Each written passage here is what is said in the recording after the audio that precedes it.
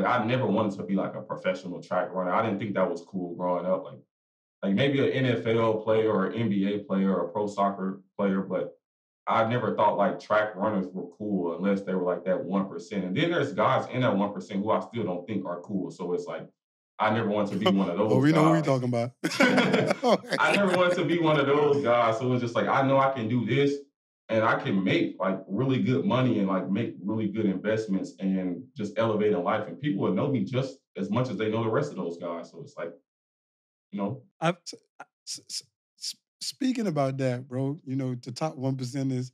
I mean, it ain't it ain't no secret. Anybody that knows Aaron Brown knows that you have a a disliking, or I don't know even know what to call it. You correct me for Noah Lyles. What is that about? Because you have a whole diss song about him. like, Yeah, so um, when it comes to Noah Lyles, like I, I'm gonna just say, as a sports person, I'm not a fan of him. It's just pretty much that. Like I'm not a fan.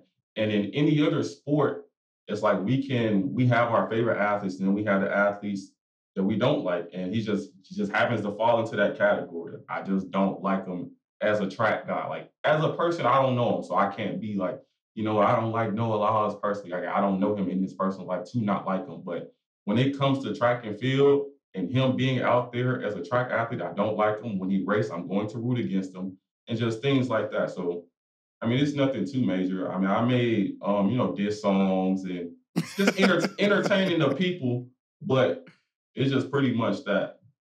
I, but I, I saw you could be very honorable though, because I watched your reaction video to when he won.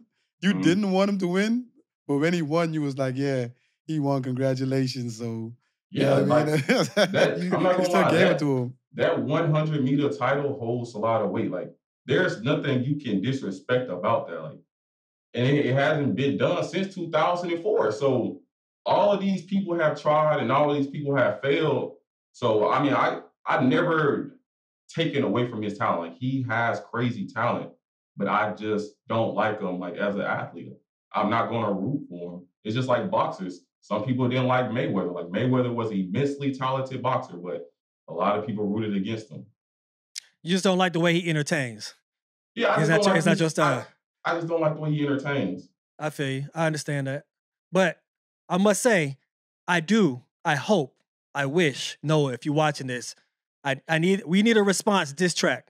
We need to we need to Yeah, get track and field Because he does, he does music. a thing. He does Yeah. music. he, do- he does music. So we need a we need a, a diss track. Enter, entertain the track world, man.